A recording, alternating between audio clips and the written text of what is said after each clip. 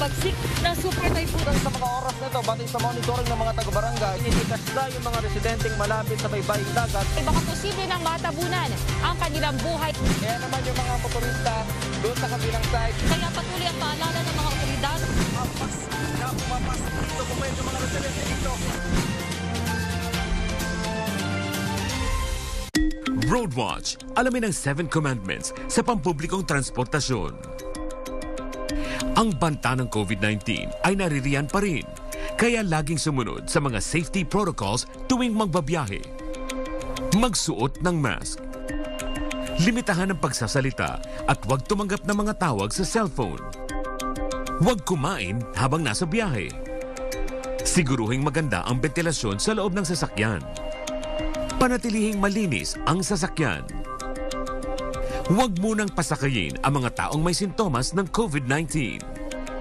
And always observe physical distancing. Isang mahalagang mensahe para sa ligtas na pagbabiyahe. Roadwatch, hatid ng inyong PTV.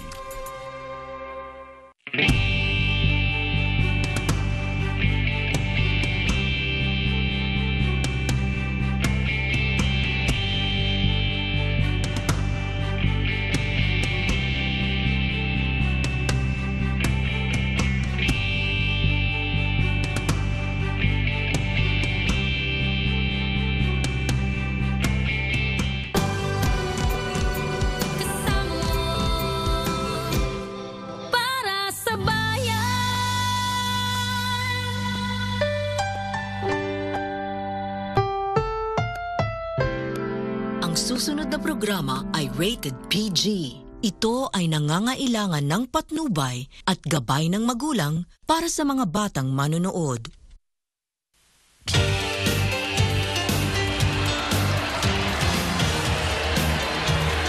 The applause and the cheering are for the man who has